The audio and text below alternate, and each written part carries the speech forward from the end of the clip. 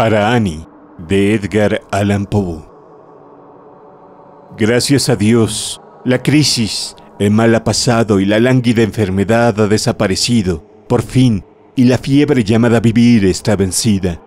Tristemente, sé que estoy desposeído de mi fuerza y no muevo un músculo mientras estoy tendido, todo a lo largo. Pero ¿qué importa? Siento que voy mejor paulatinamente. Y reposo tan tranquilamente en el presente, en mi lecho, que a contemplarme se me creería muerto. Y podría estremecer al que me viera creyéndome muerto. Las lamentaciones y los gemidos, los suspiros y las lágrimas son apaciguadas entre tanto por esta horrible palpitación de mi corazón. Ah, esta horrible palpitación. La incomodidad, el disgusto, el cruel sufrimiento han cesado con la fiebre que enloquecía mi cerebro con la fiebre llamada vivir que consumía mi cerebro. Y de todos los tormentos, aquel que más tortura ha cesado, el terrible tormento de la sed por la corriente oscura de una pasión maldita. He bebido de una agua que apaga toda sed.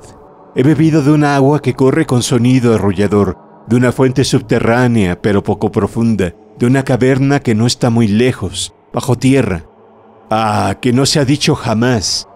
Mi cuarto está oscuro, mi lecho es estrecho, porque jamás ningún hombre durmió en lecho igual. Y para dormir verdaderamente es un lecho como este en el que hay que acostarse. Mi alma tantalizada reposa dulcemente aquí, olvidando, sin recordarlas jamás, sus rosas, sus antiguas ansias de mirtos y de rosas. Pues ahora mientras reposa tranquilamente, imagina a su alrededor una más santa fragancia de pensamientos, una fragancia de romero mezclado a pensamientos, a sabor callejero y al de los bellos y rígidos pensamientos.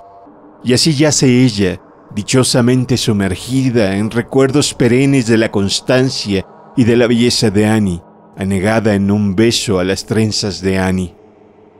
Tiernamente me abraza, apasionadamente me acaricia, y entonces caigo dulcemente, adormecido sobre su seno, profundamente adormido del cielo de su seno. Y así reposo tan serenamente mi lecho, con su amor en mi corazón, que me creéis muerto, que os estremecéis al verme creyéndome muerto. Pero mi corazón es más brillante que todas las estrellas del cielo, porque brilla para Annie, abrazado por la luz del amor de mi Annie, por el recuerdo de los bellos ojos luminosos de mi Annie.